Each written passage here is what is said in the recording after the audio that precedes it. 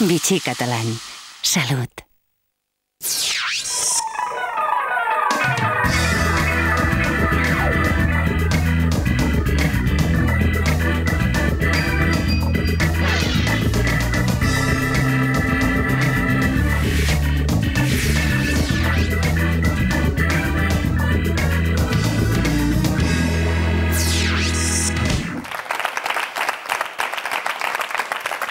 Bona nit a tothom, bona nit a tots els que sou aquí, els que sou a casa, amics, coneguts, passavolants, audiència fidel d'aquest programa, que ja portem quatre temporades i no us agrairem mai la vostra atenció, que gràcies a vosaltres és possible, gràcies també a la xarxa de televisions locals, que ens passa aquest programa per tot Catalunya. Avui ens visiten en directe dels barris de Barcelona, de la Vall d'Hebron, d'Horta, de la dreta de l'Eixample, del Camp de l'Arpa, de Sant Martí, també venen de Girona, del barri de Sant Narcís, de Manresa, de Terrassa i una selecta representació d'alumnes de l'escola ITES.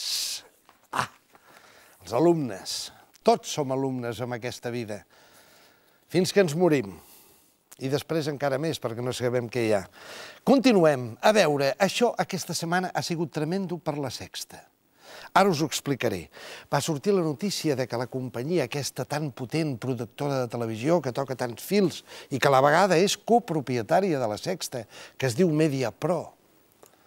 Això és pels que us agraden els fils dels grans negocis televisius. Bé, la companyia Mediapro havia comprat els drets de la Fórmula 1, això que ara, que ara té Telecinco, però que se li acaba l'any que ve, el 2008, els havia comprat fins al 2012, havia pagat una milionada. Els de la Sexta van entrar en excitació superlativa perquè en dir, home, Mediapros dels nostres són els nostres amos, i van fer un esclat, una joia. Endavant la Sexta. La sociedad Mediapro Imagina, accionista de la Sexta, ha comprado los derechos en exclusiva para toda España de uno de los mayores espectáculos deportivos del mundo, la Fórmula 1. Pues hasta ahora estos derechos serán propiedad de una sociedad de Flavio Briatore, amigo íntimo de Alejandro Agag, como saben, el yerno de José María Aznar. Pero a partir del 2009 entra en vigor el nuevo contrato con el grupo Mediapro Imagina, que se prolongará hasta 2013. Se confirma el inexorable liderazgo del grupo Mediapro, la adquisición en exclusiva de los derechos de emisión televisiva y de Internet del Campeonato del Mundo de Fórmula 1 sitúan a la productora accionista de la Sexta en la primera línea de parrilla como proveedora de contenidos audiovisuales en nuestro país. Durante este periodo el sonido de los motores de las balas blancas, azules o rojas estará indisolublemente unido a la marca Mediapro, una prueba de fuego para seguir batiendo récords. La Sexta estava a Mediapro, clar, com que és propietària de la Sexta. Mediapro, la velocitat de Mediapro és excepcional, és colossal. Eh, ho agafa tot. Però, és clar, com que n'han pagat 200 milions d'euros pels drets fins al 2011 o 12, els de Telecinco, que són els que la tenen ara, estaven encesos, però per l'altra banda. És a dir, estaven cabrejadíssims, va sortir el seu director general dient però com és possible? Aquesta gent han rebentat el mercat? Nosaltres només em penso que n'hem pagat 15 milions i ara aquests 200, 15 a l'any. Però aquests 200 per 4 anys, però això què és? Rebenten el mercat. I és clar, de seguida també els de Telecinco, al sentir el seu director general fer aquestes declaracions, van prendre nota i van fer allò que diem aquí tantes vegades, van aplicar aquest eufemisme, que ara se'n diu periodismo d'empresa. Ah, periodisme d'empresa, és a dir, transformar-te en una mena de gos del gerent o del director general i en els informatius, mutis i a la gàbia, no dir ni piu. Fixeu-vos, aquell mateix dia que es va saber la notícia de que Mediapro havia comprat els drets de la Fórmula 1 a partir de l'any que ve, que acaba a Telecinco, a partir d'aquell eh, aquell mateix dimarts, crec que era, quina era la informació que donaven Telecinco? Ja heu vist la sexta, eufòria absoluta. Què deien Telecinco, siguent els que donen la Fórmula 1 fins ara? Què deien del tema? Àrea d'esports, informatiu mireu com toquen el tema d'esports aquella nit. Us l'hem deixat tal qual. No hem tocat res. Endavant. Movistar patrocina los deportes. Ya no es un milagro. Líderes a falta de cuatro jornadas, los madridistas por fin creen que pueden ganar el campeonato. Creo que hay mucha euforia, ¿no? Euforia contenida y euforia bien alimentada, ¿no? Si al final se gana, sí. Va a ser una, una liga muy deseada. El Sevilla ha comenzado su último entrenamiento en Handen Park hace unos pocos minutos. Hasta el estadio, que está alejado de la ciudad de Glasgow, se han trasladado algunos aficionados sevillistas que, como no, han animado al equipo a su llegada. El español ha sido el primero en pisar el césped de este estadio de Handen Park, donde mañana se jugará la final. Los blanquiazules también irán por delante del Sevilla en lo que se refiere al número de aficionados que traerán hasta aquí a Glasgow. Se espera que mañana en estas gradas haya unos 2.000 aficionados más del español que del Sevilla. Movistar ha patrocinado los deportes. Aquell dia tota la informació esportiva de l'informatiu de Telecinco va consistir en donar un entrenament del Real Madrid, que fixeu-vos quina gran notícia, un entrenament, i una connexió amb Glasgow, eh, que se la podien haver estalviat perquè no han donat res, perquè d'altres coses els drets sobre Glasgow no els tenia Telecinco, sinó que els tenia Antena 3. Mireu el sidral. Però del tema de la Fórmula 1, ni piu, periodisme d'empresa. Eh, periodisme d'empresa, dieu? A veure, final de la UEFA, hombre, gloriosa final, trista per l'Espanyol, gloriosa pel Sevilla, Glasgow, retransmissió, drets d'Antena 3, quina és la imatge que més van retratar les càmeres, la criatura que la van retratar més. Home, els jugadors també els van retratar, eh? els gladiadors que estaven al mig de la gespa. Però de la grada, la criatura que més va sortir, a veure si la reconeixeu, encara que va disfressat. Aquesta.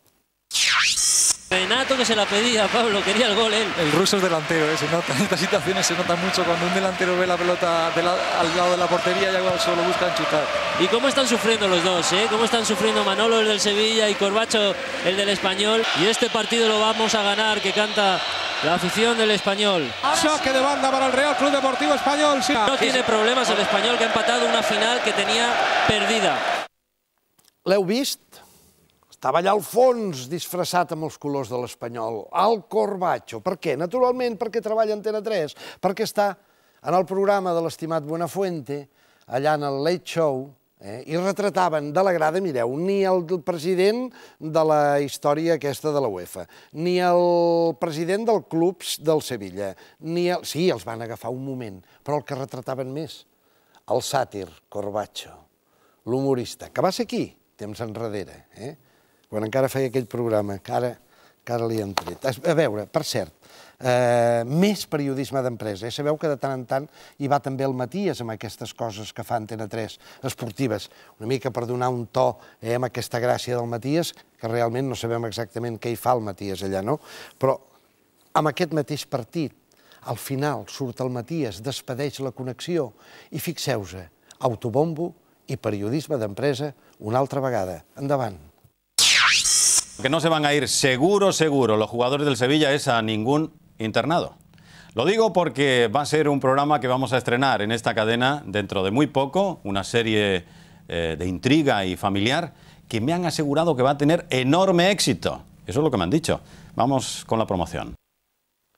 No, la promoció no hace falta, vamos, Matías, perquè ja l'acabes de fer tu, eh? a dintre, a eh? o d'una retransmissió en teoria esportiva. Però bé, no us penseu que tot això només passa en això que diuen els altres límits. Eh? Aquí a casa nostra, hombre, TV3, aprofitant també lo de Glasgow, aprofitant que juga l'Espanyol, el porter, el Gorka, que és el porter suplent, però que aquell dia havia, va ser el porter titular, el dia de la final, eh, doncs dies enrere, el van agafar els de TV3. Per què? Perquè està... Eh, té una promesa, té una noia, té una nòvia que és catalana d'allò de socarrel. I se'ls van emportar a passejar i les càmeres seguint-los. I per on passejava? A on els portava TV3? Endavant! El porter de l'espanyol Gorka Iraissós és d'Ansoaín, un poble a 4 quilòmetres de Pamplona. Ara fa 5 anys que va arribar a Catalunya on va conèixer la Montse, la seva companya. Tots dos són fans de Vent del Pla perquè la família de la Montse és de Breda, la localitat on es roda la sèrie. A mi el que més gràcia em fa és que es gravi aquí a Breda, que és el poble on han nascut els meus avis i on he estiuejat cada any. I a tu, què és el que més gràcia et fa? Bueno, a mi em fa gràcia molts personatges, personatges no? El Jaume em fa molta gràcia perquè és molt especial, és, és, és diferent, no? Vent del Plat t'ha ajudat a, a comprendre més el català i, i entendre més el vocabulari? Sí, sí, ja ho saps tu, que, que sempre m'has animat a veure aquesta sèrie, a veure moltes coses a, a TV3, en català. I... Anem a fer una cervesa al Tramuntana? Va, vinga, va, jo et convidaré. Va, som-hi. Està tancat. Si és veritat que la penya anava a Glasgow. No, és clar, tots els pericos ara estem a Glasgow. Aquestes coses de TV3, a vegades una mica carrinclones, no per ells, eh, no pels protagonistes, però que els hi surten una mica carrinclones. El Gorka, la promesa, passejant per vent del pla, és a dir, per Breda. Anem a fer una cervesa, ai no, que està tancat, que són a Glasgow. Bé, són aquestes coses que a vegades dius, Déu meu senyor, si el Gorka li escrivissin en un paper abans tot això i li diguessin has de fer això, potser diria no, aquests números no els faig. Però bé, tot sigui, tot sigui per crear afició, no? A veure, canviem de registre. Eleccions municipals, hombre. Aquest és un tema curiós, delicat, pintoresc i perillós. Perillós per un programa com aquest, perquè, és clar, no us posarem les eleccions d'aquí perquè ens vindran eh, els nous inquisidors, que són els de la Junta Electoral aquesta, que van amb un, amb un cronòmetre i a veure si parlem 3 minuts de l'un, hem de parlar 4 minuts o 3 minuts i mig de l'altre, o dos i mig, i l'altre un minut i mig, i, i són implacables. De manera que no tocarem el tema. L'altre dia va haver aquí un debat sensacional, eh? l'únic debat televisiu, ho va emetre aquesta casa, i TV3 també, eh, quin estalvi, eh? Dos cadenes emetent un mateix plató. L'ahorro, l'estalvi és brutal. És brutal perquè imagineu-vos només eh, amb un sol Bé, és quan només hi havia una tele. Eh? Però va estar molt bé, eh? tots drets, tots drets. Dos hores drets. Apassionant, eh? I no es van cansar, no n'hi va cap que va, que va fer figa. Bé, no parlem d'aquestes eleccions, però sí d'una cadena. Tornem a la sexta, que és clar, necessita un to muscular, estan molt malament d'audiència, quatre siguent de la mateixa, diguem, siguent dos nadons que han nascut pràcticament en el món televisiu, pràcticament per, amb les mateixes dades, quatre està despegant una mica més, està cap al set i mig, vuit d'audiència de mitjana, en canvi la sexta està fregant el 4, 3 i mig, una cosa molt més modesta, no? Necessiten, clar, a davant de la, del, dels reportatges sobre les municipals, van dir, home, donem-li un punt de gas amb aquests reportatges. Donem una cosa una mica més diferent, no? Eh, que sigui picant i a la vegada entretinguda i a la vegada irònica. I és clar, no se n'els ha acut una altra que anar-se'n a Fago. Aquesta localitat on el batlle de Fago va ser assassinat fa dos mesos enrere. I envien un redactor i ens fa la següent obra de teatre, Pamema o Estracanada. Endavant.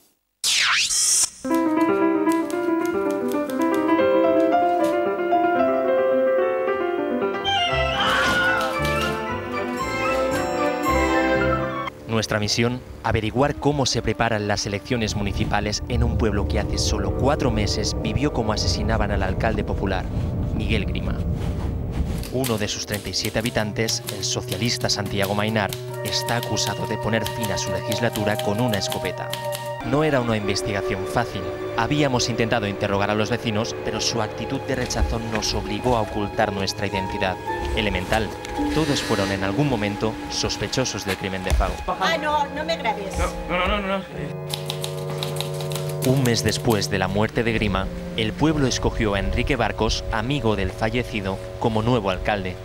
Todos los indicios apuntan a que Barcos seguirá mandando a partir del 27 de mayo. Sin campañas, sin sintonías de partidos y con pocos medios de comunicación, comprobó que allí la paz había vuelto. ¿O no?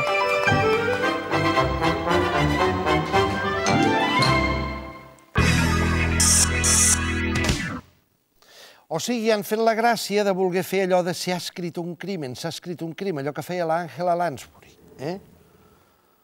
Els hi ha degut fer una gràcia brutal allà a Fagos. Clar, el problema que té aquest tipus de reportatges és que pel mig aquí hi ha un mort. Hi ha una família d'aquest mort, hi ha uns veïns que vegin sortir un brètol per allà pel carrer i després veure'l per la tele disfressat així com de Sherlock Holmes d'aquí de Rodalies, eh, i, i anant fent el número de l'Àngela Lansbury, si ha escrit un crimen i jajaja, doncs aquest tipus de reportatges, gràcia poca. Continuem. I què fan? Castillón i Lobatón, Lobatón a Castillón. Ja sabeu, aquests de los más buscados. El Lobatón va estar aquí mesos enrere. Ens va assegurar que es perdien entre 3 i 4.000 persones diàries a Espanya, una cosa terrorífica. Deia que no donava l'abast. Ni ell ni el Castillón donaven l'abast de buscar els perduts. Doncs ja no busquen a ningú, ja es dediquen al succés pur i dur, truculent, i a més amb martingales, i ho haig de dir clarament. A veure, l'altre dia, el cas de la nena Madeleine, aquesta nena estrangera que va ser va desaparèixer a l'Algarve, estava de vacances, em penso que era amb els seus pares o amb els seus tiets, i ha desaparegut una nena de 4 anys, Madeleine, rosseta, molt maca. Ha ensenyat en fotos, no se sap on és. Aquests dos, el Castillón i el Lobatón, i el Lobatón i el Castillón, ja s'han fet una pel·lícula de que aquesta noia està amb uns pederastes, amb uns pedòfils.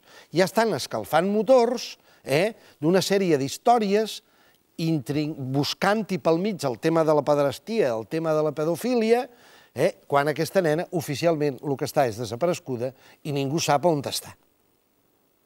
Bé, l'altre dia es veu que els hi va arribar a la redacció del Lobatón i el Castillón, els hi va arribar un vídeo, que no té res a veure amb aquesta nena, d'un pederasta de la red que l'han trincat i que han agafat unes filmacions que passava per la red i que no sé què i que no sé quantos. Diu, calla, diu, ho lligarem i fan aquestes martingales realment lamentables. Només us hem posat un trosset del tros de la filmació del pederasta. Però ells ho adjunten amb el tema de la Madeleine i Anxes Castilla. Endavant. Tres años. Desaparecida.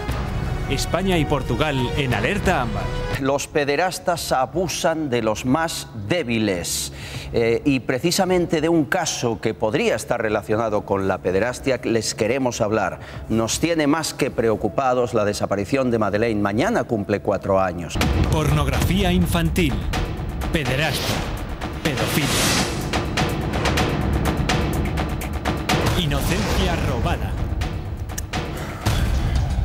El caso de Madeleine nos está obligando a, hablar de los pederastas que abusan de los más débiles. Se llama Cristian Osío y desde hace un mes era el pederasta más buscado de España. Grababa y distribuía los vídeos con los abusos sexuales que mantenía con una niña de 9 años. Hace dos años, la policía sueca remite a la española este vídeo pornográfico porque en él se habla español. Realment, realment lamentable, Castillón i Lobatón, Lobatón i Castillón, que barregeu les coses, una nena que creeu aquesta espècie d'angoixa a la família que deu estar veient, si està veient això, diu, bueno, bueno, la meva filla està desapareguda, bastanta pena tenim com per, perquè vingueu vosaltres parlant de pederàstia, de pedofília, i a sobre un vídeo que no sé d'on l'heu tret, que l'ha enviat la Interpol d'un pederasta famós a Europa, eh? que també me'l col·loqueu al costat del reportatge de la meva nena i feu de tot això allò que en diuen a Castella, la olla podrida. I més podrida que mai. Eh... Parlant d'olles podrides, a veure, eh... Miguel Bosé ha sigut atacat aquestes últimes dues setmanes, ja ho sabeu, per la marabunta. Quan es posen en marxa, les hormigues blanques són terrorífiques. Eh? Li han fet dos especials de vida, miracles, pecats, heterodòxies, en fi, tota aquesta, aquesta història del corta i pega, que van enrere, enrere, quan era petit, les primeres declaracions, és a dir, van, un dia arribaran fins a la Cleopatra, no? És, és, són, són arqueòlegs més que periodistes. Bé, doncs... Eh, en el programa del, del Bossé, les hormigues, totes les formiguetes aquelles, eh, totes van declarar que eren gran admiradores del, del cantant, no? Y que era una cosa... Pero anaven traient, muy, muy admiradores, pero mira, mira que decían hace 25 años atrás de él. Bueno, ¿y qué deien? Que había muerto de sida, pero si era un bulo. Els diuen, no, però, però se decía. Sí, sí, era un bulo, però se decía. Sí, o sigui, si és un bulo, de, de, deixa-ho estar. Si, si ets amic del cantant, o el respectes encara més, perquè... No, no, no. Que se dijo que se moría de sida y hubo una cadena de radio, Radio Intercontinental, que incluso abrió un día por la mañana a las 7 el noticiario diciendo Miguel Bosé ha fallecido de sida. era un bulo, sí, era un bulo, i fan la reconstrucció del moment aquest, imaginari per ells, perquè no ho van viure, però és veritat que va haver una cadena de ràdio que va fer aquesta bajanada a les 7 del matí dient que havia mort, però que després es va desmentir, però ells hi tornen, no? 25 o 15 anys després hi tornen amb la sabata.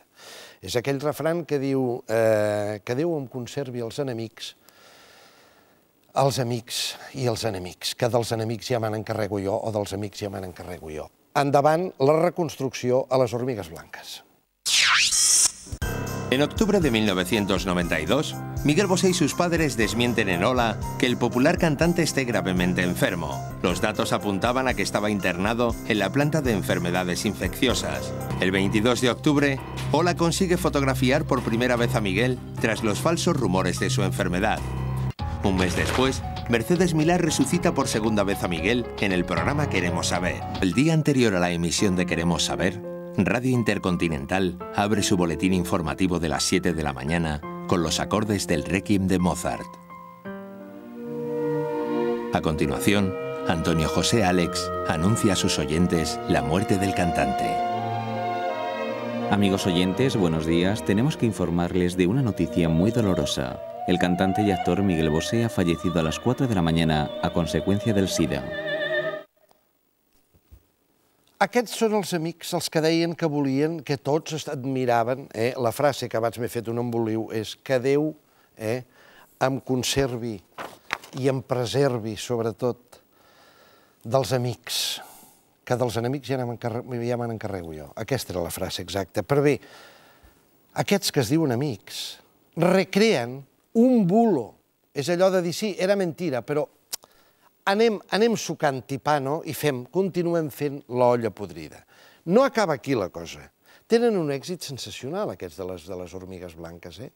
Hi ha alguna setmana que han declinat una mica, però van tenint això d'anar gratant en el passat de les persones i anar volcant eh, coses que s'havien dit, que després s'ha demostrat que són falses i tal. Tenen un èxit. I què passa? Això és Telecinco. Què passa als d'Antena 3?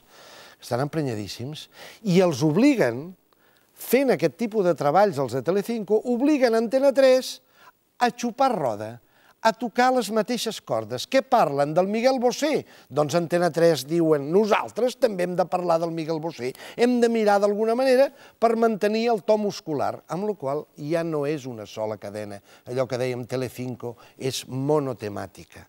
No, no, ja és Telecinco i Antena 3, és a dir, és la meitat de la graella que tenim a la nostra disposició, pràcticament és monotemàtica. No? Els d'Antena 3, deia, l'altre dia en el programa en Antena i després també en el, en el programa Dolce, eh, ¿Dónde estás corazón?, doncs repescant l'èxit de Telecinco, és a dir, tocant també el tema Miguel Bosé amb l'afegitó de la mare, Lucío Bosé. Endavant. Es curioso esto de los rumores. ¿Cuánto daño pueden hacer los rumores? El protagonista de esta historia es uno de los grandes artistas de este país, Miguel Bosé. Es de nuevo noticia por, por su pasado, por algunas cosas que se dijeron en su pasado. La noticia salta a los medios de comunicación de este país en determinado momento. Miguel Bosé ha muerto o incluso Miguel Bosé tiene SIDA. Fíjense, Miguel se vio obligado a hablar y hablar con claridad en el programa de Mercedes Milá Queremos Saber. ¿Cómo has vivido todo esto? Es decir, ¿cómo Bueno, estás pues después de con, todo con- indudablemente con mucha furia, Mercedes. Quien hubiese querido saber dónde estoy desde el principio, hubiese podido saberlo. Lucía Bosé. ¿Cómo, cómo los llamas tú? Terrorista de las imágenes. Esta es Telecinco. Terrorista de las imágenes. Fixeu-vos en aquest xuparroda d'Antena 3, que hi ha dos moments interessants. Primer, treuen una, unes imatges d'una entrevista que fa 17 anys de la Merceditas Milà, quan feia entrevistes, va ser la inventora de la entrevista tàctil. Tocava l'entrevistat. Va començar per sota i després per sobre, els tocava els entrevistats. No, no, ho feia d'una manera molt, molt... De dir, no, no, no, quan dic per sota ho dic d'una manera simpàtica, no? Però va inventar l'entrevista tàctil. Bé, aquesta és una entrevista de fa 15 anys que ells la tenien i no la tenia Telecinco, diu, calla, diu, la posarem, diu, ja que també entrem en el tema del Bosé, diu, fotem-li. I després porten la mare perquè carregui, precisament contra les hormigues, que és la cadena contrària. No? Vull dir, aquí es barregen interessos de cadena, per un costat carregar contra la competència, però a la vegada xupar roda per no quedar desmarcats amb el tema de l'audiència, és brutal. Repeteixo, no és ja la Telecinco, la cadena temàtica d'un sol tema que el van passejant sempre tot el dia per, les, per els programes, sinó que són ja dos cadenes que es van tocant els mateixos temes. Continuem. Parlàvem de mares, eh? hem vist acusadora la Lucía Bosé, terroristes de les imatges a Telecinco. Bé, hi ha una altra mare que també s'està passejant aquests dies pel plató, està desolada, desolada, desolé, desolé, la Bàrbara Rey. La Bàrbara Rey està feta pols. Li han expulsat la nena de la, de la illa dels mosquits i està emprenyadíssima. Està, està amb una angoixa existencial. A veure, el normal seria que si tu tens una filla que li estan fotent els mosquitos, jejeje, jejen, aquells que hi ha allà que són terrorífics, si l'estan acribillant cada dia, quan la portes cap aquí dius, hombre, quina alegria. No, la Bosé no, està emprenyada, endavant. La audiencia ha decidido por un 51% de los votos que quien debe abandonar supervivientes sea Sofía.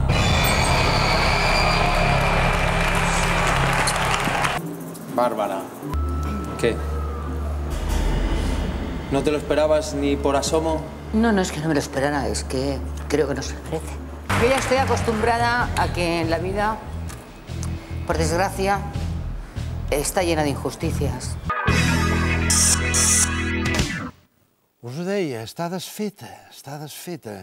A casa, aquells moments, el Pepito no hi era. No vam poder preguntar-li i veure què, què és el que pensava d'això, però és que estava preparant alguna cosa. Després el veurem perquè ha preparat alguna cosa al respecte. Crec que ens il·luminarà. Però em penso que el Pepito hi veu clar amb aquest tema, també. Eh? Nosaltres no sabem com una mare pot dir que està trista de que hagin rescatat a la filla d'aquell món de Déu perdut allà de mosquits i que la tornin a portar a casa. Això l'hauria d'omplir de, de, de joia. Doncs no. I el Pepito té la resposta. Factor X, canviem de registre. Ah, aquest programa de 4, ja ho sabeu, on és una mena de càsting, va estar aquí temps enrere una de les persones, una noia que havia participat en aquest càsting i que encara no entén de què va, ha estat aquí fa poc també una altra, una altra persona, un xicot, que va estar parlant també de Factor X i dient, bueno, això de què van? De friquis, de cantants, de fer espectacle, de gent de la tercera edat barrejats amb els de la més tendra infància i fer una mena d'amic generacional, a veure qui, diu, qui, qui fa la més grossa. Bé, sembla que ja els hi hem vist les intencions i ja podem assegurar de què es tracta això de Factor X. Eh, l'altre dia es va presentar una cantant, canària, crec recordar, Davínia, una noia sensacional, delicada, va cantar aquell tema tan bonic de la Winnie Houston, aquell que va popularitzar aquell tema gràcies a la pel·lícula de Bodyguard, el guardaespaldes, i mentre ella cantava, fixeu-vos a nosaltres a casa, ella no sabia res del que estava passant, i fixeu-vos a les càmeres quin joc ens feien, quin rètol, les càmeres després se n'anaven a fora a parlar amb la mare. Tot per què? Perquè passava alguna amb el seu avi. Endavant. Hola. Hola. Bueno, mi nombre es Davinia, tengo 18 años y soy de Las Palmas de Gran Canaria. Mi familia y todo el mundo me ha apoyado a que me presente. ¿Alguien en especial de tu familia? Mi padre y mi madre y sobre todo mi abuelo y mi abuela. Chill the stain I wait on living again your way the way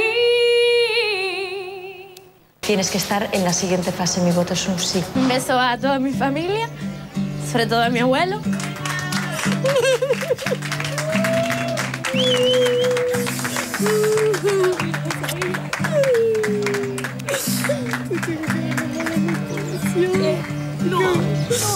abuelito.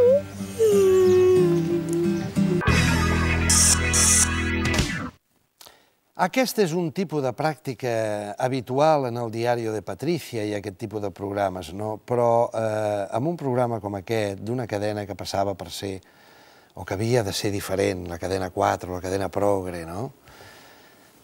que vagis veient aquesta nena, quan està, quan està dient això i quan està cantant, ella no sap que li estan posant un rètol, David ni aún no sabe que su abuelo acaba de fallecer. I li posen aquest rètol i després ens enfoquen a la mare. I la nena completament al marge i es troba la, la pomada, permeteu-me l'expressió, en el moment en què acaba de cantar. No? Però bueno, això, això fins a on hem arribat? No? Que es mori una persona d'una família. És la família la que té el dret de comunicar-ho quan vulgui, a on vulgui i a qui vulgui. I la tele, per més factor X que sigui, per més 4 cadena progre que sigui, no té cap dret a utilitzar la mort d'una persona d'aquesta família com a rètol per donar una sensació i per tenir-nos enganxats. Vosaltres heu vist aquest tema. Nosaltres l'hem vist gràcies a vosaltres, gràcies a l'Alfredo Vieira, que diu és trist veure com una cadena nova que apuntava maneres progres, que ja us deia, no? I intentava desmarcar-se de la telebessura. És trist que estigui fent això. Daniel Vieira, Barcelona. José Jurado Gómez, Barcelona. Vic, aquí amb una beca. He vist aquest cas de 4, factor X. Sembla mentida, com juguen, etc etc etc. no? Vieira i Jurado, gràcies per les vostres notes, gràcies a vosaltres, gràcies a tots, perquè hi esteu veient francament clar, com el Pepito. Continuem. Canvio radical. Hombre, s'ha acabat. L'han tancat. Fa 24 hores la Teresa Viejo. Cataclac. Cierre. Eh? És curiós, el va tancar sense dir el tanquem. És a dir, va fer el programa, era un programa que era de mm, allò que et diuen los mejores momentos. Va dir, bueno, se ha acabat el programa, hasta aquí hemos llegado, volguem dir com si fos una, una normalitat. En cap moment explica les protestes enormes, recordeu quan va estar aquí el doctor Tàpia, eh? prestigiós cirurgià de, de cirurgia reparadora i cirurgia estètica i que estava horroritzat de com s'estava tractant aquest tema en aquest programa. No? Eh, la Teresa Viejo, allò que diuen impassible l'alemany, és a dir, mutis, autista absolut, va fer el programa, no es va referir a tot el sidral que ha armat això, inclús col·legis de metges. De tots els casos que ens van passar, de totes maneres, el més bonic és que ens van recordar el cas del pagès aquell, el Francisco, agricultor, Campos de Córdoba, que es dedicava a les oliveres a partir de setembre, octubre, novembre, però després, la resta de l'any, treballa l'all, eh? treballa el surco, treballa el bancal, els alls, i de sobte li van fer un recauxutat, li van allisar les arrugues, li van posar perruca, li van col·locar aquí una pròtesis eh, que semblava allò, allò que diuen el trampalail, que diuen els francesos, no? el trampantojo, eh? i el van deixar de tal manera que semblava el George Dan cantant allò de Bailemos el Bimbó. Bé, recordem-lo, és aquest. Esto es lo que Francisco ha obtenido. Un rostro más joven y terso, libre de manchas, venitas, arrugas y surcos. Un cabello propio y natural que sirve de encuadre a su nueva expresión facial. Y la mayor ilusión de Francisco, una dentadura sana y perfecta que le permitirá disfrutar por fin de la comida y volver a presumir de su sonrisa de seductor. Bé, el bonic d'aquest final de canvi radical és que li han fet un seguiment amb aquest senyor. Clar, te canviarà la vida. No, no li canvia la vida. Aquest home ha de tornar al bancal. Ha de tornar als camps, i honestament, i em sembla molt bé, però no li canvia la vida. Li han canviat l'estètica, l'han fet Georgi Dan de broma. Però ella ha de tornar cada matí a les 6 del matí a aixecar-se i anar allà amb els alls i les oliveres. I fixeu-vos a la filmació que ens fan d'aquest home en el seu lloc de treball. Endavant.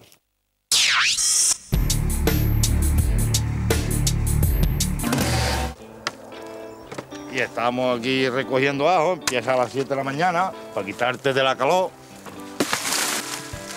Del sol ya yo me protejo poco, pero claro, por la mañana, tú te levantas a las 6 de la mañana, te vas a poner a juntarte crema allí para venirte al campo. Pues no me la junto. Bueno, pues vamos, vamos a comer. Como veréis, estoy todavía con la dieta blanda. Bueno, pues los bocadillos, pues me los hago de pan de morde, que es más ternito, puedo masticarlo mejor. Con los embutidos ibéricos, como me dijo la nutricionista.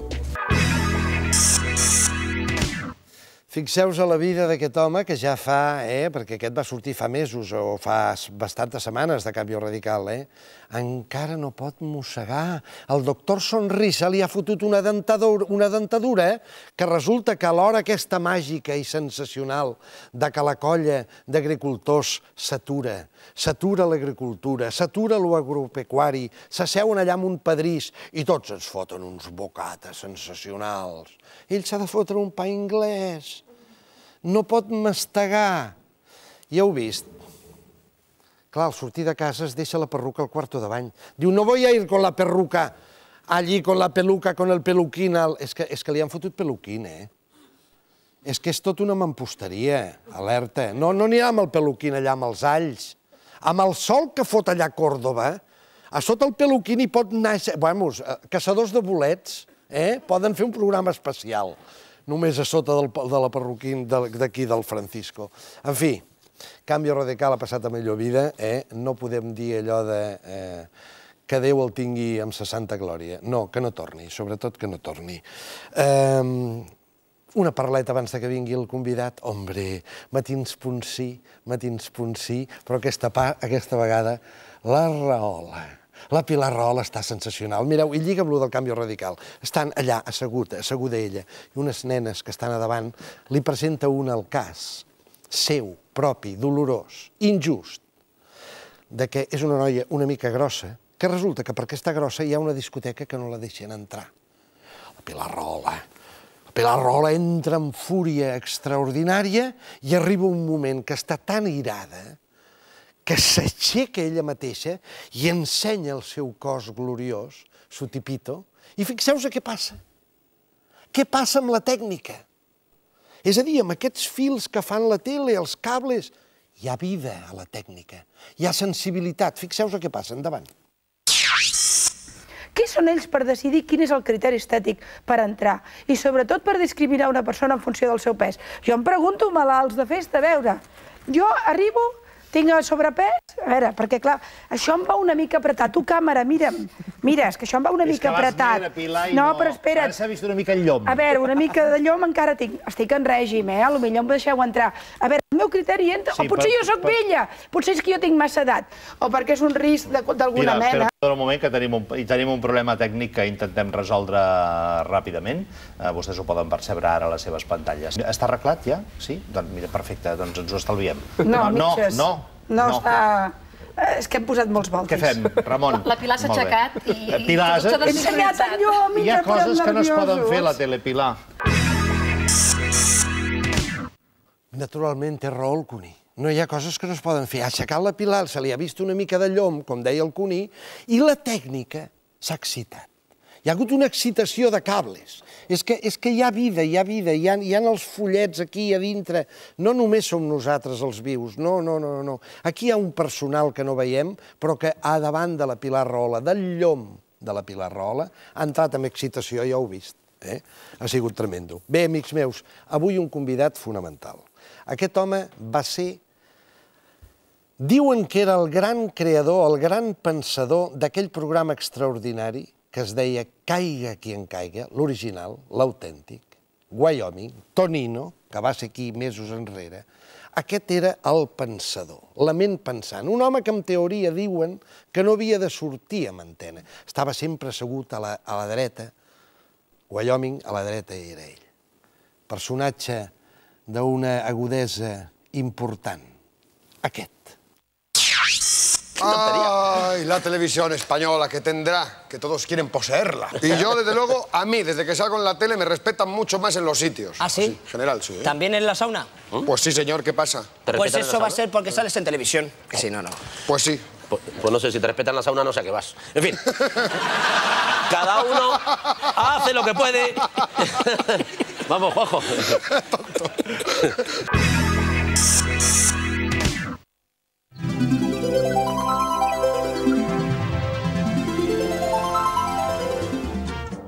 Aquesta setmana a Querti, un professor de teoria de literatura, David Roas, ens portarà també el resultat de la seva pràctica literària. I també tindrem a Cristina Peri Rossi, que ens portarà els seus contes i els seus poemes. Això aquesta setmana a Querti. A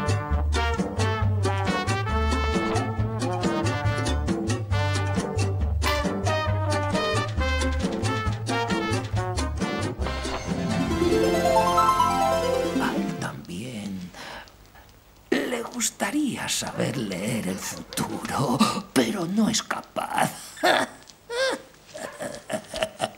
Toda nuestra esperanza está en usted, padre. Un hombre tan piadoso. Me han ordenado ocuparme solo de ti. El resto de las monjas será tutelado por los otros curas. Entonces no cree que estoy endemoniada. Hija mía, tengo que creer, aunque no quiera hacerlo. ¿Qué culpa tengo yo de que me hayan poseído ocho demonios poderosos? No te creas que nos asustaremos de tus habladurías en latín. Vil curilla. ¡Apague, Satanás!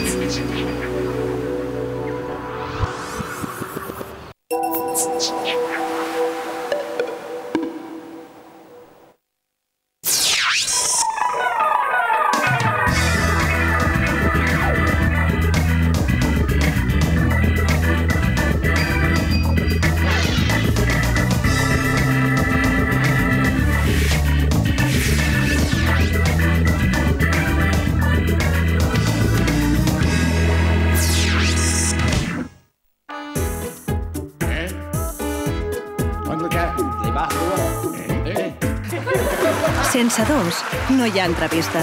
Gran Via 2 t'ofereix aquest espai.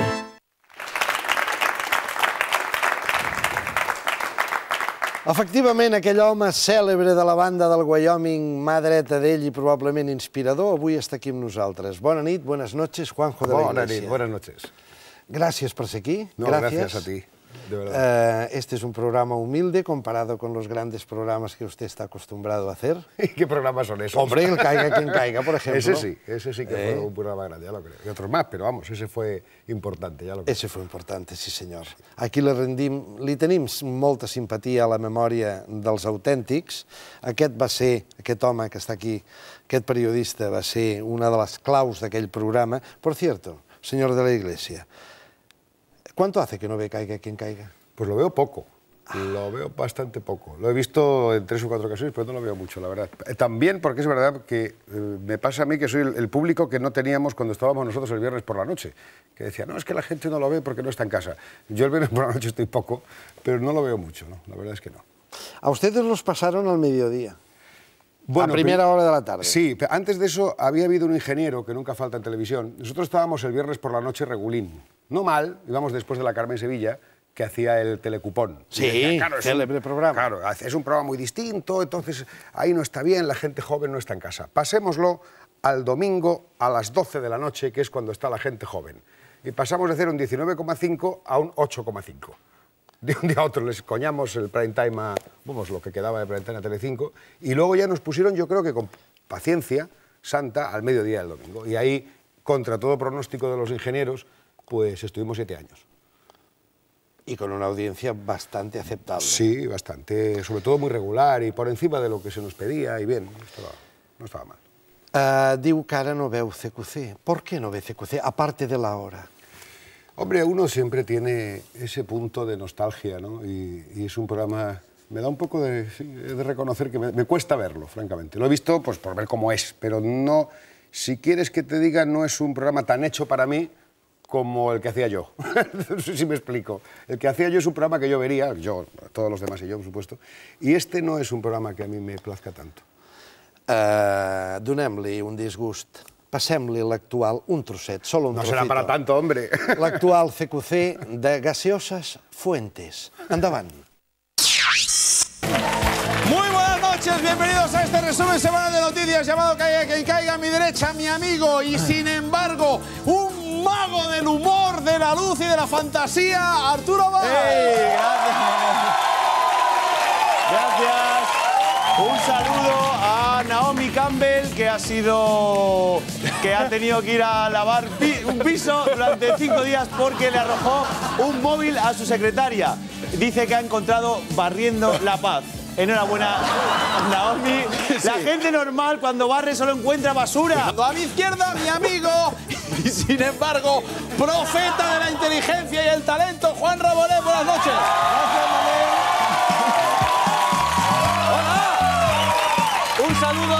75% de españoles a los que según una encuesta no les interesa la política. Lo peor es que al 75% de los políticos no les interesa la política. Bien, espuma, colorines, ustedes eran blancos, ¿eh? o con mucho color blanco. Aquí hay más color, hay más espuma. Y su amigo Arturo Valls. Sí, Arturo, se, que Arturo estuvo eh, contratado. Es que Arturo se quedó contratado en Telecinco. Arturo Valls, per als navegants, era, formava part del primer equip, l'autèntic de Caiga quien caiga. Arturo llegó el último. Llegó Sí, como de dos o últimos. tres años empezado el programa. Entonces, sí, se decidió incorporar un, un reportero. Lo trajo Tonino, de Valencia, por cierto. Él estaba en una televisión local de Valencia, no recuerdo cómo se llama. Creo que ya no existe. Y eh, entonces lo trajo Tonino a dos años o tres de empezar, o quizá cuatro. Y entonces a, Arturo lo contrató Telecinco para hacer otras cosas. Cuando se hizo el nuevo Caiga quien caiga, lo contrataron a Arturo. ¿Usted hubiera ido al nuevo? Yo no. Yo no hubiera dado. Y cuando se encuentra con su amigo Arturo, ¿qué le dice? Pues ¿No te cae la sé. cara de vergüenza, canalla? No le digo nada, pero es que, claro, cada uno toma las decisiones que, que quiere y que puede, ¿no? Yo no hubiera ingresado en ese programa, en esas cosas, pero cada uno tiene las... las ¿Cómo voy yo a censurarle al Arturo lo que haga, no? Pero, pero ciertamente yo no, lo hubiera, yo no hubiera ido, en estas condiciones o en estas, con estas características. Pero eso no quiere decir que esté mal que lo haga él, ¿eh? Cuidado, que yo, cada uno hay que ganarse la vida, este está tra- contratado en Telecinco, pues supongo que también que tendrá que ir haciendo... Luego hablaremos de la necesidad de ganarse la vida, efectivamente. Vamos a ver. Eh, aquest home passava per ser eh, el cervell del caiga quien caiga. Passava usted por ser el cerebro del caiga quien caiga, ¿no? Eso es mucho pasar, pero bueno. Eh, no, en ningún momento tuvo usted esa sana incomodidad de que siempre se hablara de Wyoming y nunca de usted? Pues- ¿O en esos términos? Pues no, porque para- yo no era el cerebro del Caiga quien caiga. eh, éramos un grupo, lo- los dos guionistas iniciales éramos Tonino y yo, más luego el Edu Arroyo, que, que luego se quedó de director. Y el programa tenía mucho, cada uno de nosotros, ¿cómo explicaré yo? Trabajaba su reportaje de principio a final, o sea que cada cosa que hacía cada uno de nosotros estaba muy trabajadita por cada uno de nosotros. Y el Wyoming realmente eh, no era No, guionista, pero él era. Él daba un repaso al guion, siempre al final venía, m- introducía un montón de ideas, pero él eh, le, le añadía un montón de talento al programa. Y además es una persona, como no nos está oyendo, no puede. eh, Pero es verdad, tiene una, una generosidad en escena como yo no he visto a nadie. Hombre, que te ponía los chistes en suerte. A veces, te- esto que hemos visto antes tiene mucha gracia. Eso es una morcilla.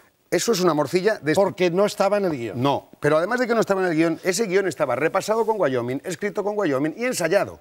Y entonces ensayaba, y entonces el chiste no me acuerdo cómo era, y entonces a última hora te hacía eh, la putadita, pero que era muy graciosa. O sea, que era, tenía mucha chispa, mucha, mucha Te rapidez. ponía la morcilla como los viejos y sabios actores de teatro. Sí, y muy divertido además, porque no era un fruto de una improvisación constante. Había mucho trabajo de antes, ¿eh? porque lo leíamos 20 veces, lo ensayábamos juntos, hacíamos un ensayo de cámara y tal. Entonces, pero siempre, eh, cuanto podía, plum. Recordem a l'audiència que és aquest tall que hem passat abans de la publicitat, que es veu ell al costat del Wyoming que, i que ell diu, bueno, yo soy un hombre respetado, a mi me respetan, diu l'altre, diu, te respetan en las saunas, i ell diu, naturalmente, i el Wyoming dice, pues si te respetan en las saunas, No sé pa què vas. No sé pa què vas.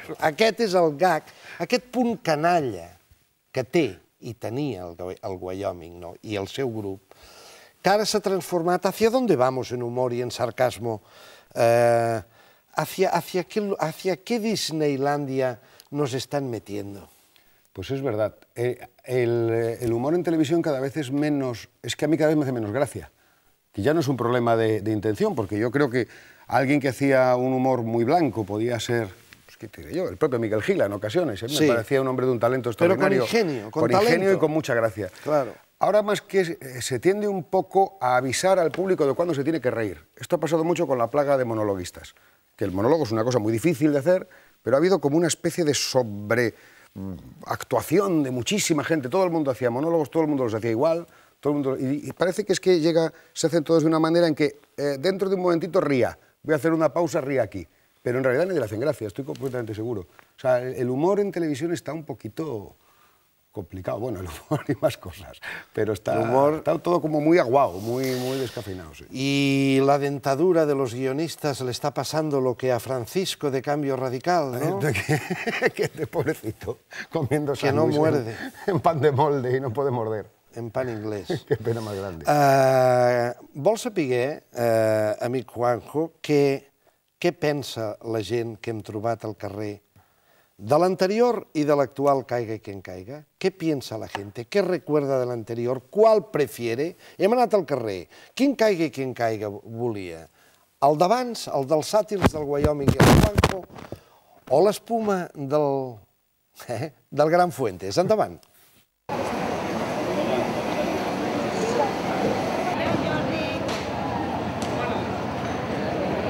Eh, prefereixo el d'abans, era més, més, com més àgil, ara es veu molt preparat. M'agrada més el Wyoming que el Manuel Fuentes, però m'agrada més el Caiga en Caiga d'ara. que, que feia el Gran Wyoming, perquè era molt incisiu, molt canyero, i el d'ara el trobo molt suavet. Wyoming, perquè la seva sàtira és més àcida i perquè el Manel Fuentes trobo que és molt blanc, molt light. No, yo prefiero lo que hay ahora del Fuente.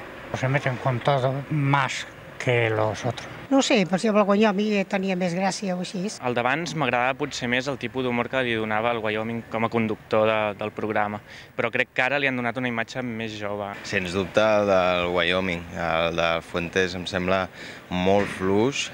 A mi m'agradava més el Wyoming perquè trobava que era... Segur que hi havia guió, però no es notava tant que hi havia guió, era com més espontani. Cuidado con este joven que ha salido hace un momento que dice, ahora tiene una imagen más joven. Eso sí es verdad, pero eso no sé si es... eh, Eso es una manía no solamente en este programa, en muchos programas, lo de la imagen más joven, pero yo no creo que eso sea lo más importante a la hora de que a alguien le guste un programa o no le guste. Hay una cosa que a mí se me llama la atención, dice una persona, es que este programa le da más a todos. O sea, es un programa, ma- el actual, ¿no? Más ecuánime. Y yo creo que no hay que ser ecuánime. O sea, ecuánime sí, pero ¿No hay, que, hay hay tener hacer- punto, hay que tener punto de vista. Pero hay que repartir la, la mordida. Hay que repartirla, pero hay que tener punto de vista. Y evidentemente, si yo fuera un forofo de la televisión de las operaciones de cirugía estética, haría un programa diciendo, he aquí un gran programa que han visto ustedes, que se llama Cambio Radical, lloremos una lágrima por él. Y como no lo soy, si hiciera este programa, diría más o menos lo que has dicho tú. Entonces hay que tener un punto de vista. Hay que, claro, que nosotros vamos a estar a un lado y a otro, pero el programa tenía un punto de vista, tenía un, un cierto compromiso. A mí cuando dicen, no, es que el humor no puede ser de derechas ni de izquierdas, entonces es de derechas. Eso pasa siempre. Siempre he oído a alguien decir que no hace humor de derechas ni de izquierdas, normalmente está haciendo humor de derechas. Es lo más, es lo más normal.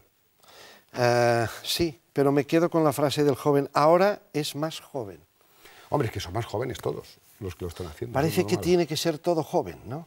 Bueno, sí. En televisión parece que la, cosa chispeante a priori debería vender más, pero yo no estoy muy seguro de eso. Yo, me parece que es que se, los gustos de la audiencia van cambiando según lo que hacen en las televisiones y luego le echan la culpa a la audiencia. Pero la culpa la tienen o la tenemos los que hacemos televisión. A mí me hace gracia que dicen, no, la telebasura, no digas que es telebasura porque lo ven cuatro millones de personas. Dices, bueno, lo ven cuatro millones de personas, pero usted la está haciendo, que es el que la hace. No, pero es que me lo demandan. Eso es una mentira. No, eso, eso Muy eso- gorda, eso- no, no, muy gorda. No, no, eso de lo de demandan. Con lo de la gente joven es La igual. audiencia no demandamos nada. Nada, vamos a demandar. y si Nos demanda- encontramos. Y si demandamos no nos hacen ni caso, o sea, que empezar lo mismo. Uh, és curiós, aquest home, quan estava en ple funcionament, en ple èxit el Caiga qui en caiga, l'autèntic, el del Wyoming, el del Tonino, etc, el del Pablo Carbonell, uh, ara, vist els anys, se, se, os podria acusar de haber sido los primeros en penetrar en la intimidad de las personas que circulaban tranquilamente por la calle. Es verdad. Una Esperanza Aguirre, un Gallardón, un obispo, Hombre, tanto, el rey. Iba a decir tanto como personas que circulaban por la calle, no eran personas que circulaban Sí, por la vosotros calle. ibais con la alcachofa. A ellos sí, pero no era de la... Nosotros siempre teníamos mucho cuidado, y eso es verdad que lo teníamos como casi libro de estilo, de no preguntar al señor, o si le preguntabas era en buen plan, pero no hacer quedar mal al pobre señor que está vendiendo el agua en la plaza de toros, o estos frikis que se estilaban tanto en la televisión, que, ahí teníamos mucho cuidado de no hacerlo. Sí que nos parecía que Esperanza Aguirre debía dar explicaciones o que, o que merecía la pena intentar acercarse a, a, a Ruiz Gallardón, a quien fuese, ¿no? porque estos eran políticos que es distinto. Eh, pero a la gente que estaba haciendo su trabajo, al, al guardia, al no sé qué, con eso teníamos mucho cuidado. Jamás, jamás, o, o, a veces salía alguien, pero no era, no era el, lo que nosotros estábamos buscando. Em costa mossegar una persona que combrega exactament amb el mateix tipus de, de, de, de forma o d'hòstia de les que combrego jo. Fixeu-vos el que ha dit. A la persona humil, al guàrdia, al porter, al vianant, a la senyora de fer feines, a l'oficinista, al taxista. Amb aquesta gent no ens ficàvem mai. Sempre tiràvem això que diem en aquest programa, sempre apuntàvem al peix gros. I això és el que tenia aquest programa, és verdad. Vosotros disparabais o mordíais siempre a la pieza grande. Procurábamos el que estaba mandando, fundament- o al que quería mandar, que también tiene lo suyo, ¿no? Eso sí es verdad. Però és curiós, aquesta gent tan mossegadora i tan eh, revolucionària, per entendre'ns, entre cometes, resulta que un dia els truca l'Aznar y els convida a sopar a la Moncloa. Es verdad. Además, eso fue. ¿Pero un- esto qué fue? Pues esto fue que estaba, yo estaba en París haciendo un reportaje, no sé qué era de la OTAN, que Rusia se había adherido, que no iba a bombardear más. Era una fiesta de la OTAN en París. Y entonces estaba Aznar allí y estaba. Era la primera legislatura. Que era el aquel Aznar bondadoso, no sé si Ah, lo sí, recuerdas. que hablaba catalán en que la hablaba intimidad, catalán en la intimidad, que sí, tenía un sí. bigote casi como el tuyo, un bigote de verdad, no esa especie de felpudín que se dejó. Sí que se dejó como una especie de, de cosa aquí que eh, cambió el personaje. Entonces, yo creo que por indicación de alguien, pues entonces nos convidó a comer. Y tuvimos un gran debate en el programa, si habíamos de ir o no, porque decían, claro, es que va a aparecer, que nos dejamos... Digo, pero ¿quién va a pensar? A mí me hacía ilusión ir, porque quería ver el Palacio de la Moncloa por dentro, y yo fui de los que defendí ir. Por cierto, cuento una anécdota muy breve. En el, en el cuartito que hay, vamos, en el cuartazo que hay, según se entra a la Moncloa, hay un recibidor que tiene un friso griego con unos atletas en pelotas allí haciendo cosas de estas que hacen los griegos, con un jabalina y tal. Y vino a recibiros Alejandro Agag, que entonces estaba allí trabajando. Hombre, el nietísimo. El nietísimo, estaba ahí trabajando de no sé qué. Y entonces vino a ver, muy mal, entonces dije, ¿qué os gusta? Dijo Goyomen, sí, caramba, esto está muy bien, parece una sauna gay. La entrada en la Moncloa, fue muy divertido. Y, pero tuvimos mucho debate, eso, si debíamos ir o no, pero al final yo creo que hicimos sí, bien en ir. Eh, L'anècdota final... Eso fue. ¿La, la entrevista final? No, l'anècdota final de la tarjeta de crédito. Ah, sí, ¿Es la- la- cierta? eso es cierta. Dijo Wyoming, en pleno lío con Polanco, cuando le estaba medio encausado. Entra un ujiera a darle a Aznar un papel, se cree Wyoming que es la cuenta, ¿no era así? No, no está, pero el resultado es el mismo. O sea, cuando nos fuimos, bueno, ya nos vamos. Dijo Wyoming, ¿qué? ¿Se puede pagar con tarjeta prisa? Dijo Wyoming al salir. Eso es verdad, eso es cierto. Y luego lo que también fue cierto es que teníamos una entrevista pactada con el presidente y se intentó escurrir. Fue una cosa de lo más violenta que os podéis imaginar porque habíamos pactado una entrevista. De hecho, fuimos a comer con un cámara y con un productor que comieron, estos comieron con los empleados de la Moncloa y nosotros con el presidente. Entonces, cuando nos vamos a ir, el presidente se hacía humo y hubo que cogerla allí a bola pluma. Wyoming le hizo la entrevista una situación tensísima. Yo siempre le decía, joder, Tonino, si nos acercamos a, a Wyoming se le oye como suda. Estaba una concentración muy tensa, no le contestaba nada. Además, le habíamos mandado las preguntas, pero Miguel Ángel Rodríguez nos dijo que no hacía falta. Dije, bueno, no es para que las censure, sino para que vea lo que le vamos a preguntar. Es que tenía que haber tomado nota de la entrevista que le hizo Sánchez Dragó, hablando de poesía. Eso sí, es, ¿Eh? que haber preguntado por el IF. el poema aquel, sí. Exacto, la pipa de If, eh? Rudyard Kipling eh? i los poemes. I los poemes. Eh, a veure, aquest home acaba, eh, com tota la banda del Wyoming, i comença a buscar-se la vida. ¿Hay vida después del CQC? Pues sí, porque uno ha vivido de esto. Yo cuando estaba viendo el principio del programa, que estaba viendo estos cortes de televisión, decía, "Jo, yo me dedico a esto. Un poco de cosa. Pero sí, porque pues, yo antes del CQC también me había ganado la vida en este oficio. Bueno, sí, en radio sobre todo. En radio, eh, haciendo guiones para los demás, poniendo voz en off en documentales, cosas así. Y eh, pues sí, uno... Yo no me puedo quejar, la verdad. No me puedo quejar. Eh, el vam veure una temporada amb l'estimable Montserrat Domínguez. Sí. Eh, eh, Ruedo Ibérico, programa que va ser defenestrat últimament, no? Sí, en- en octubre o noviembre Octubre o noviembre. Eh, Antena 3. Eh, aquest home eh, creo que hacías una, una sección que se'n deia El Observatorio. El Observatorio Multimedia. El Observatorio Multimedia. todavía. Endavant, el Juanjo amb un registre diferent amb la Montserrat Domínguez. Endavant. Juanjo de la Iglesia, en tu observatorio multimedia has eh, averiguado exactamente a qué se dedica Bono ahora mismo, ¿no? Sí, el diario La Vanguardia ha sido un bálsamo para todos los corazones porque en primera nada más y nada menos titula Bono susurra ahora a los caballos. En realidad lo que quisiéramos saber es a quién susurraba antes. Diario La Razón. Nos enteramos por este diario de que Esquerra Republicana de Cataluña pedirá, propone el voto nulo en el referéndum del Estatut, pero admitirá el no y el sí crítico. ¿eh? No, han expresado, sin embargo, cómo se hace, cómo- dónde dan la papeleta del sí crítico o, qué hay que hacer al llegar al colegio electoral. El espionaje, desde luego, ya no es lo que era, qué duda cabe. Aclaro, por si alguien no lo sabe, que el MI6 es la agencia de espionaje británica y que ha puesto un anuncio en el Times para reclutar espías, como si se tratara de unas oposiciones a auxiliar administrativo o algo así. El texto es bastante divertido también, dice, entre comillas, operamos en todo el mundo para hacer este país más seguro y más próspero. Y añade, con esta redacción tan simpática que tienen los británicos cuando quieren, usted comprenderá que esto no es fácil. Una cosa de empatizar con los futuros candidatos a espiar. Señor de la Iglesia. Usted. Esto es una losa santanderina lo que acaba de hacer usted. Una losa santanderina. Sí, es decir, es farragoso. Le falta aquella agilidad que tenía usted ¿Tú en el lo que, caiga tú sabes lo caiga? que era esto a las seis y media de la mañana? Querido Ferran, a las seis y media de la mañana hacerte el graciosillo con los periódicos recién leídos. Era tremebundo. Y cuando te habías leído todos los periódicos decías, bueno, y ahora no tiene nada ni puta gracia. Ahora, ¿qué coño me invento yo?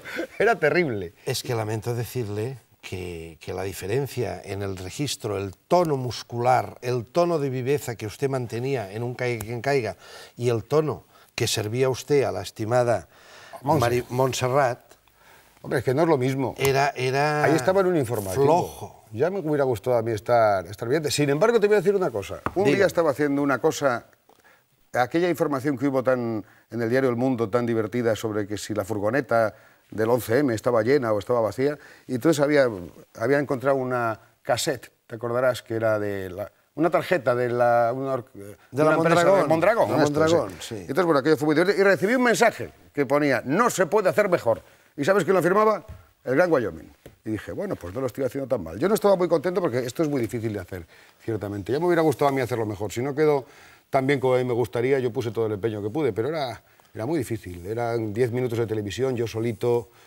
Era complicado. Había que sacarle chispa. Había que sacarle chispe, había que meterse en un informativo de Antena 3 con los colaboradores de Antena 3 y el ambiente de la tertulia de Antena 3, que a veces se tocaba con Ekaizer y, y ¿qué te diría yo? Y mm, Oneto.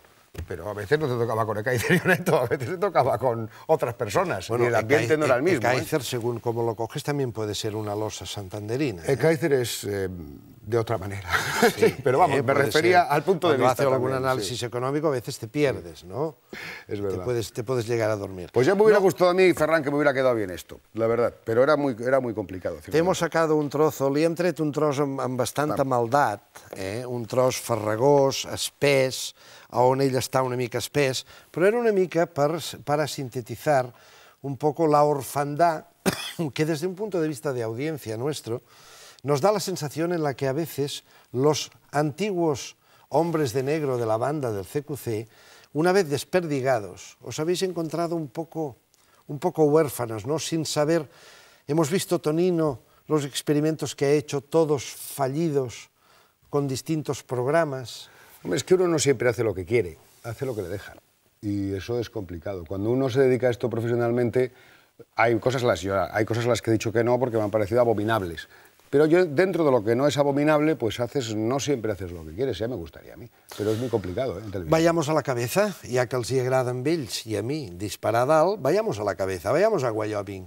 Wyoming acaba, caiga quien caiga, se toma, creo, un año sabático o algo así.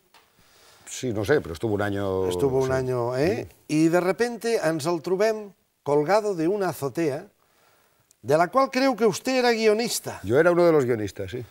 ¿Usted es guionista de esto que hizo Wyoming con Yo era de- Bill, con guionista de las Bill Smith? entrevistas, no. ¿Quiere verlo? Andaban.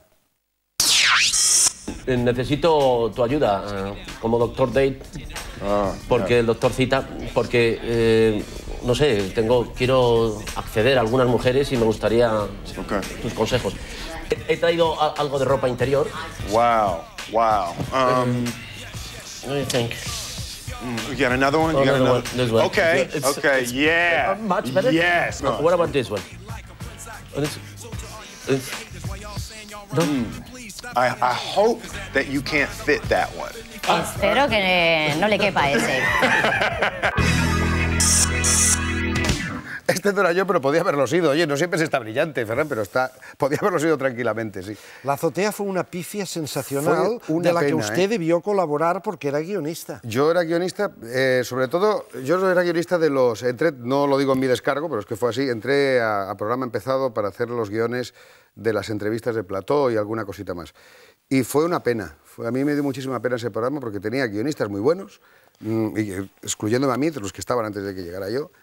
Eh, tenía un plató maravilloso, un decorado precioso, no sé si te acuerdas que se veía desde la azotea un efecto como la calle por debajo, era muy bonito. Parecía la película aquella de Hitchcock. Sí, sí. y era todo muy chulo y tal. Sí, es decir, el envoltorio era perfecto, Sí. pero no había, no. había sustancia. Ese programa no, no cuajó. A mí, sin No. embargo, me gusta mucho lo que está haciendo ahora Wyoming en la sexta. A mí que Ah, me parece que está muy gracioso. El intermedio vuelve. Sí. Y mira que es un programa gag sencillito. ¿eh? corto. Sí. Sí, allà és on el Wyoming sembla ser, però ahí no està usted de guionista. No, desgraciadamente no. Uh, fa bé de dir-ho, tenim un moment, un instant, que ha passat fa un moment, a on i estic, estem sintetitzant amb la figura del Wyoming una mica el que els hi passa a totes aquestes criatures, no?, que han tingut un repunt d'un èxit bàrbar i després sembla que us, que us cuesta encontrar... Hombre, es que el Caiga quien caiga era un programa que hicimos como nos dio la gana.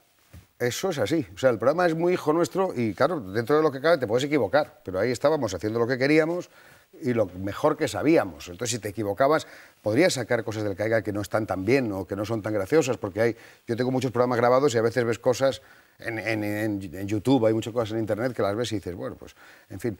Pero eh, el programa era muy... Era, sí que era responsabilidad nuestra, ese programa 100%.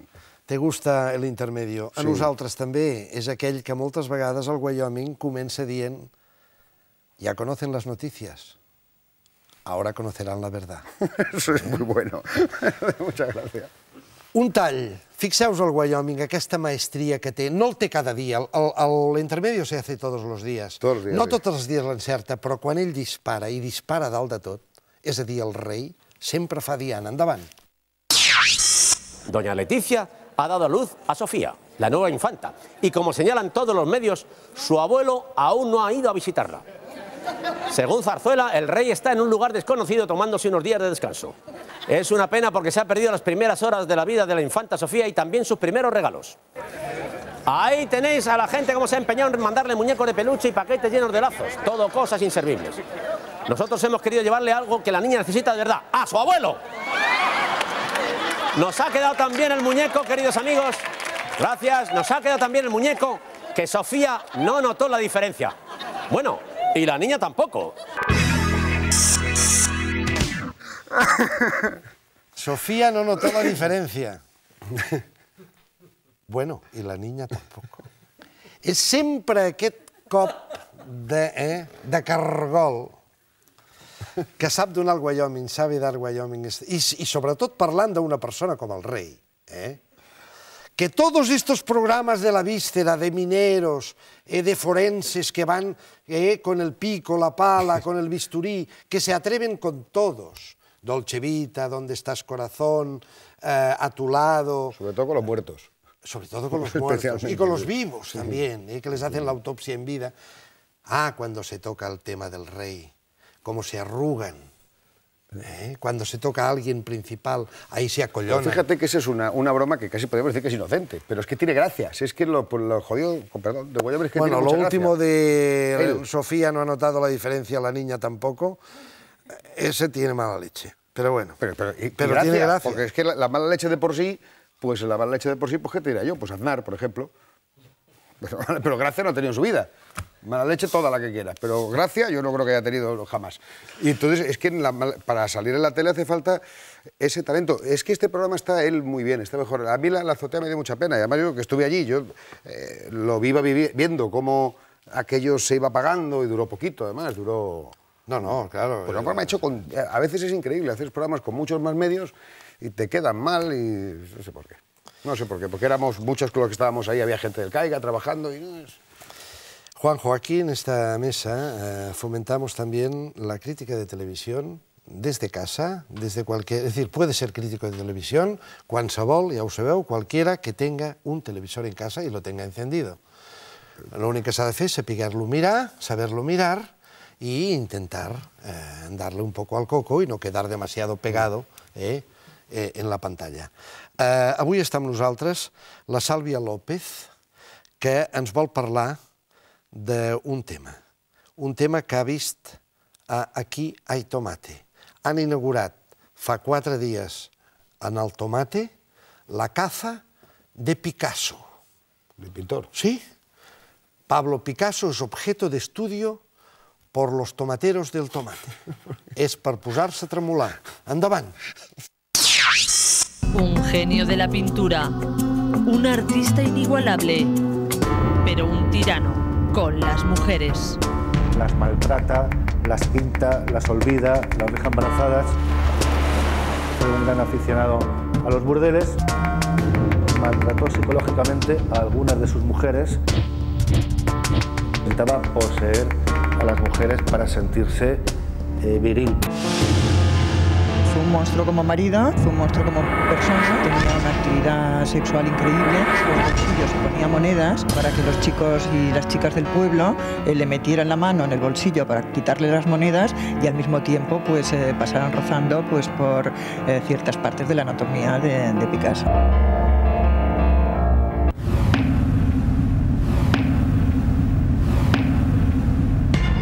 Al despertarme besé el lóbulo de la oreja de Gala y en ese mismo instante sentí a Picasso mezclado con mi saliva.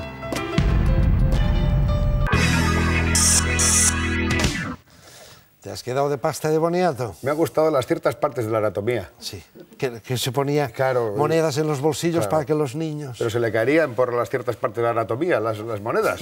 O sea, es- Qué bonito, ciertas partes de la anatomía. Uh, sisplau, Sàlvia, tu has vingut precisament perquè has vist aquest tall, has vist sobretot el que estan fent al tomate i vols dir alguna cosa. Endavant. Doncs bé, em sembla que, aviam, aquestes persones han fet unes acusacions molt greus contra un personatge que d'alguna manera ja no es pot defensar perquè és mort. Per tant, mm, doncs no, no em sembla que, que estigui bé. I, i, bueno, i a part d'això, no sé, és una persona que té una reputació per un treball que ha fet, que ell de fet es dedicava a la pintura i, i és una, una persona reconeguda a nivell internacional i d'alguna manera sembla que es tirin una mica les pedres sobre la taulada perquè volen perjudicar un, un pintor, un gran pintor de, del nostre país, no? i per tant doncs, no, no, ho trobo, no ho trobo bé. I a més a més el programa aquest doncs, que segueix amb la mateixa línia de, de, de buscar, de repescar personatges que ja porten uns anys morts i que bueno, els tornen a portar en vida i traient els traps bruts i, i no sé, jo no ho veig gens bé. Es cómodo trabajar sobre un muerto porque es lo que dice ella, no se puede quejar. Pero es que además Muerto, es que, aunque se pudiera quejar, quiero decir que es irrelevante. Si se pudiera quejar, estoy seguro que no se quejaría, le daría exactamente igual, pero lo que es es terrorífico. A mí me hace una gracia esta gente opinando de Picasso, sacando esas cosas ahora. A mí me parece terrorífico. ¿Ves? Yo estaría farragoso, querido Ferran, pero yo esas cosas no las hago. Prefiero estar farragoso a hacer esos mierdos, te lo digo en serio. que, que eso no puede ser. Claro que no sé qué- diferència. Sí, és, és, és veritat, i t'agraeixo l'apunt, però el que diu el Juanjo, és a dir, agafar la figura del Picasso i submergir-la en el tomate, encara que tingués unes relacions amb les senyores, que això està más que estudiado, y además hay literatura al respecto y libros de que tenía una relación con las señoras un poco particular, con algunas y con otras no, como todo el mundo. Però, eh, a veure, mm, submergir-lo en el tomàquet, eh? sumergirlo en el tomate, es que, es que da repeluz, ¿no?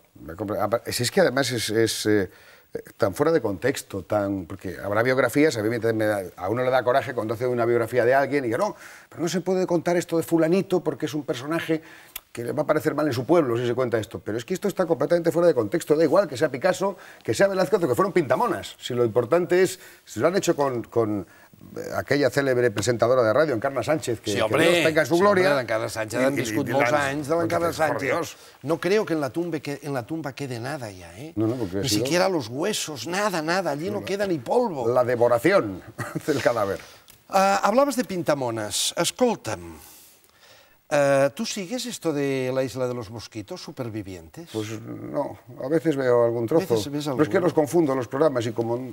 Sí, son estos que están allí en, en- Sí. en Bahía Cochinos. Se llama así, ¿eh? No es Están ni- en Bahía Cochinos, Sí, esto sí. está en... No, bueno, es, es el archipiélago de los cochinos, se llama algo así, sí. Pues no lo he visto. Sí, la- el Cayo se llama Cayo Paloma, que es, muy bonito, pero el archipiélago de Cayo se llama Cochino. Vi cuando... Pero ya hace mucho, cuando estuvo mi querido compañero Sergio Pazos, que estuvo en una de Sí, esas cosas. de estos, el hombre con toda su ilusión había aprendido a hacer fuego con unos palitos. Porque decía, no, porque estaba todo, todo entusiasmado porque él pensaba que, que en su inocencia que iba a un programa de supervivencia. Entonces, yo he aprendido a hacer fuego con unos palitos y mira. tal. Y claro, estuvo, se pasó haciendo fuego con los palitos, jamás salió el fuego de los palitos de Sergio Pazos y lo mandaron para Madrid a, la- a los 15 días, porque no reñía con el, con el compañero. Ni Han nada. mandado a Madrid a la hija de Bárbara Rey. He visto un llanto que me ha dejado impresionado. La madre, la madre está deshecha. Pero de Cuando sería lo normal de estar, de estar alegre. Claro lo hemos dicho antes aquí. Sí, sí, no, eso sería lo lógico, sí. Tú conoces, no, no, no conocerás porque, porque tú estás en otros límites, en otros mundos. ¿eh? Eh, tenemos aquí un crítico particular que es el que nos ilumina siempre, es el que siempre hi veu clar, és el que, eh, és el que el, el, és la bestia más sagaz del mundo de la ornitología que ve claro dónde nos toma el pelo la tele y dónde nos hace trampas y dónde estamos comulgando con ruedas de molino. Estoy, estic parlant, estoy hablando del Papitu. El Papitu sap exactament què li està passant a la Bàrbara Rey, per què està plorant, perquè torna la nena quan hauria d'estar alegre. Davant, Papitu! Mami,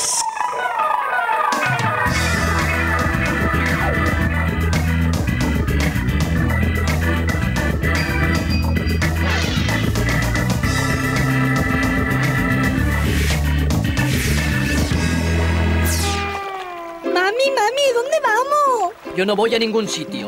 Vas tú. Rema, bonita, rema. ¿Yo? ¡Ay! ¿A dónde me lleva, mami? A la isla de los supervivientes. Mami, mami, socorro, me atacan los mosquitos. Son más grandes que el culo de la Raquel Boya. Mira, Papito, la Bàrbara Rei ha deixat la filla a l'illa i ella fot el camp a tota pastilla. On deu anar? A la tele! A fer postures! I a cobrar! Seguim-la!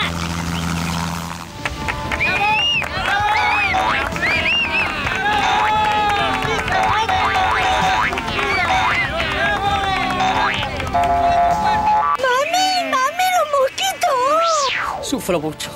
Mucho, mucho, mija, allá en la isla tan llena de peligros. Pero quería ir a toda costa y yo no puedo negarle nada a mi niña. Y me sacrifico. Lo demás!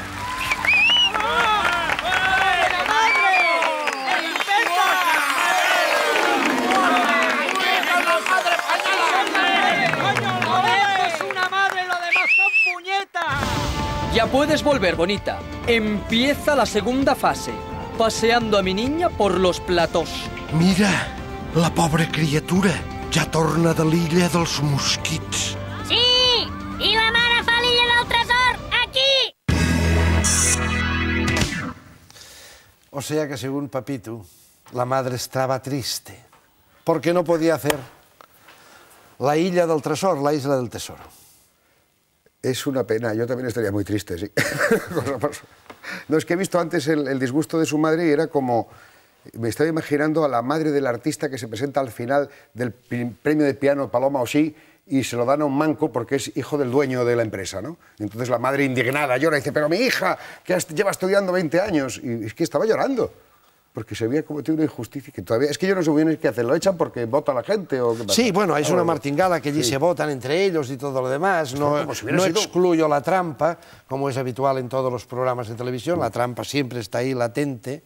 Pero Vosotros el tema de la trampa también lo habíais tocado a veces en el Caiga quien caiga. Eh, Pues, ¿a qué, tra- a qué trampa te refieres? Bueno, la trampa que nos hacen, sobre todo, ¿no? Sí, los sí, de sí. arriba, ¿no? Algunas Pero los- la que está haciendo ahora la tele, eh, creo que estrena, estrena usted un programa dentro de poco. Sí, en, En la empezaremos cadena ahora. esta progre. En la, en la 4. En esta que ponía, y no sabe que su abuelo está muerto. En esa, pues va a caer usted en buen sitio. Pero yo voy de parte de la productora, voy de parte de Notro Televisión, a hacer ahí el- la siguiente temporada de Nada por aquí, que es un programa de magia. Ah, es esa magia sobre la marcha. Pero magia, sí, y en plató, vienen... Y, en la, y por la calle. Sí, y- hacen magia en la calle, hacen, van a ir a, o va- vamos a ir, porque yo es que me acabo de incorporar a Las Vegas, que es donde está el Magic Castle, que es una especie de, de meca de los ilusionistas, que está en, en Estados Unidos, donde hay grandes magos, luego hay magia por la calle, hay unos magos que irán a plató y luego una- unas cosas que se hacen como, que lo tengo que ver, porque yo soy un recién llegado, como unas cámaras ocultas, que es qué efecto produce la magia en la gente cuando no saben que es magia, cuando piensan que, que es una cosa que está ocurriendo. Y queda, yo tengo mucha ilusión porque hay magos de mucha categoría muy buenos. Bé, espero que recuperi l'art del teatre, que és d'on surt la màgia, i del circ, eh? que li dongui vostè aquest toc eh? d'ironia circense. Amics meus, això s'ha acabat. Gràcies per, per haver estat aquí amb nosaltres. Gràcies a tu. Gràcies també eh, a tu per la teva aportació i sobretot per aquest tall insòlid i esgarrifós del Picasso submergit eh, en el ketchup del Jorge Javier Vázquez. Amics meus, si voleu venir de públic, telemonegal arroba barcelonatv.cat, telèfon 93310 74 60 i, si plau, tant truqueu per telèfon com si envieu el correu electrònic, deixeu el vostre telèfon, que ens agrada parlar amb vosaltres i podem parlar, i podeu venir aquí, i podeu parlar, etc etc. Eh, a tots vosaltres i a tots els que sou aquí, que heu estat aquí aquesta nit en directe. Ja ho sabeu, fins a la setmana que ve.